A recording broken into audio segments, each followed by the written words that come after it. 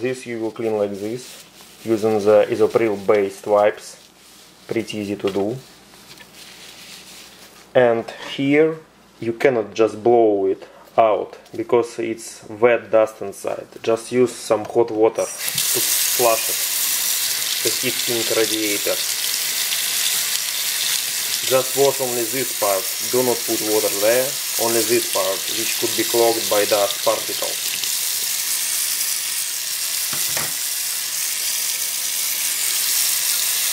The same as well as there. And do the same with the fan. Just wash them. You cannot blow it. This dust is everywhere and it's wet dust. Just wash it out.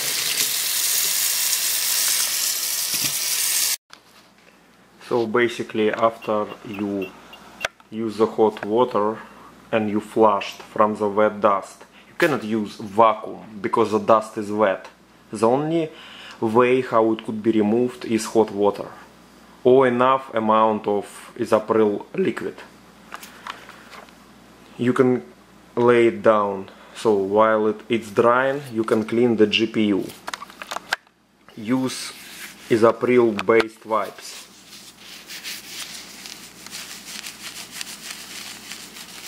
Make sure that you removed everything because it's very important. All this can cause a short circuit on a GPU if not removed.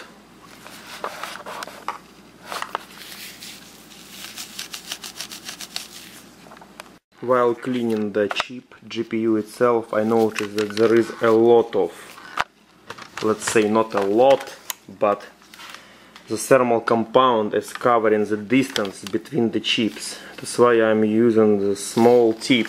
I'm putting the base isopropyl liquid rag on it and I'm doing like this between the chips in order to remove it. I already partially removed it, so watch this. You see uh, on the on the right side I removed the thermal compound between the chips. On the left side it still does exist.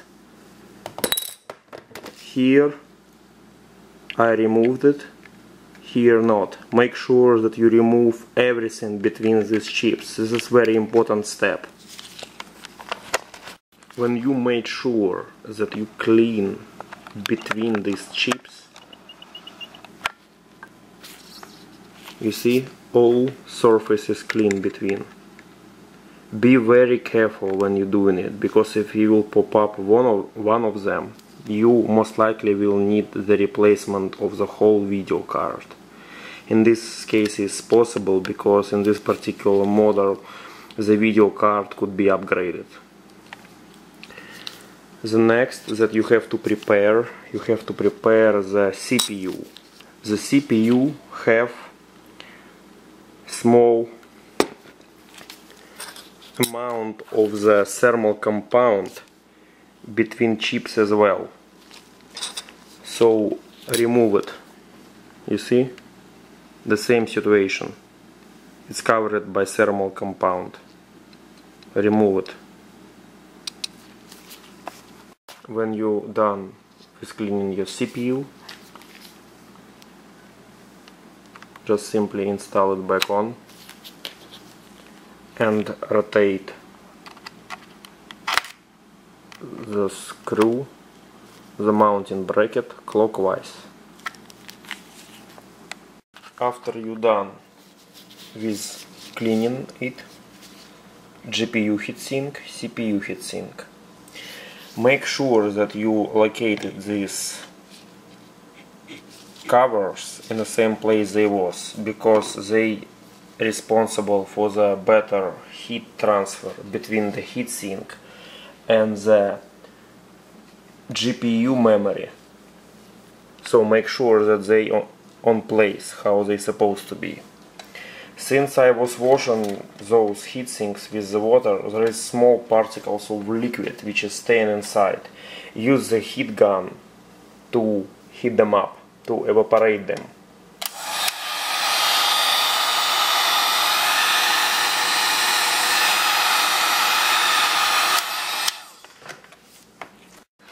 The copper have very very nice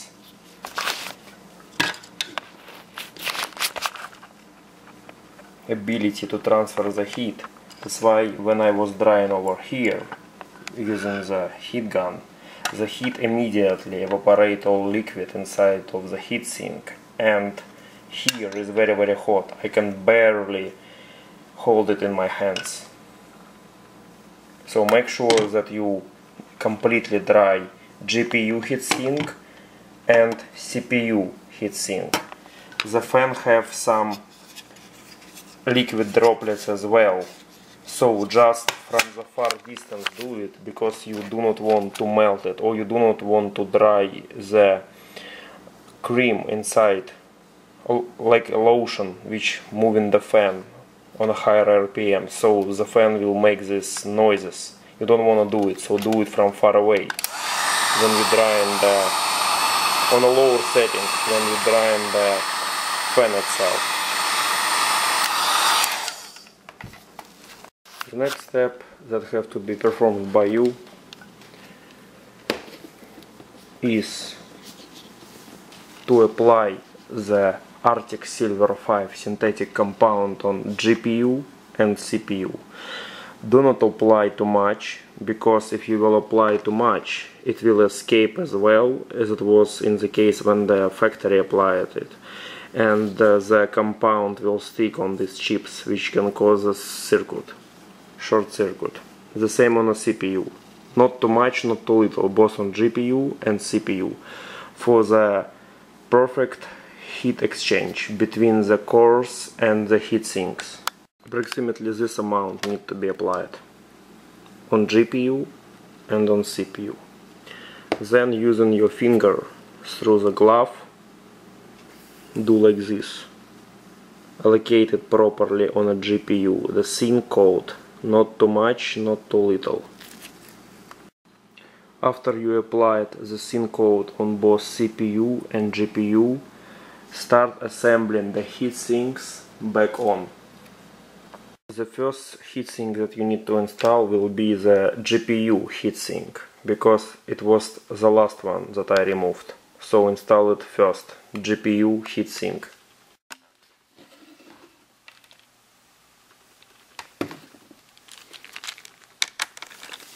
Clockwise tighten the bolts apply medium pressure on four of them and when you tighten them on a medium pressure apply them to the pressure to specs because you obviously you want your heat transfer between the heat sink and the GPU core will be on a high efficiency. This is very important. That's why the thermal compound was applied as well Done with the GPU heatsink, install the CPU heatsink.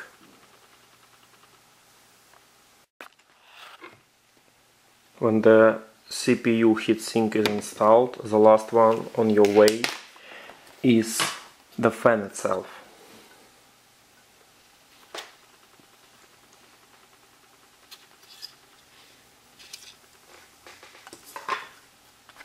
When you install the fan, you have to remember that this bolt this bolt and this bolt belongs to the protective cover itself.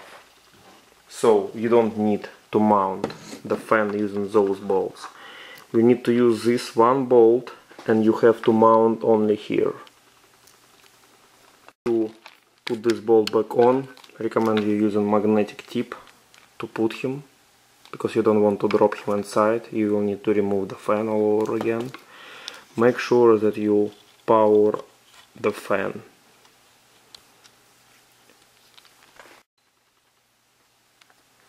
When you install the fan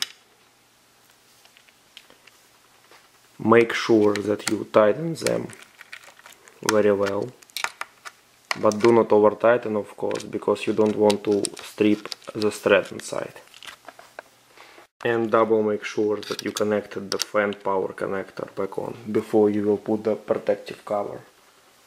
You don't want your system to overheat with the new compound on. This stage I recommend you only to put one bolt in case if you did something wrong and your system, your system not gonna power on you can easily fix it. Don't put all screws, just put one screw to temporarily mount the back cover. Install the battery back on and check your system.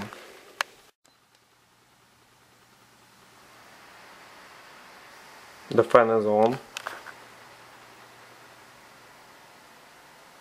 Before I did this it was always on.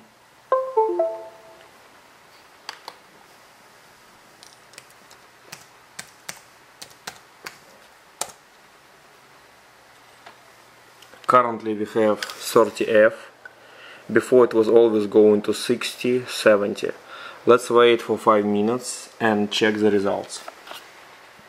GPU itself cannot run on a maximum capacity of it on a battery power so plug it to the external AC source. So after testing the system What? opening What some games some movies. Looks like sand. The temperature do not go higher than 47 48 after 15 minutes of running. Before I did this it will be already 68 by now on a GPU core. I'm monitoring the GPU core.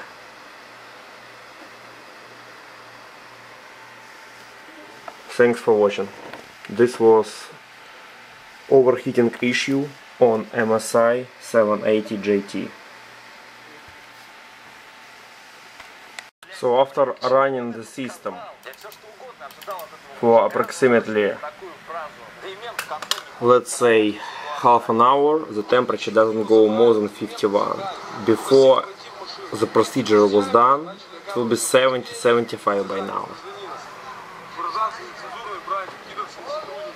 Thanks for watching my tutorial for solving the issue on MSI overheating issue on MSI GT780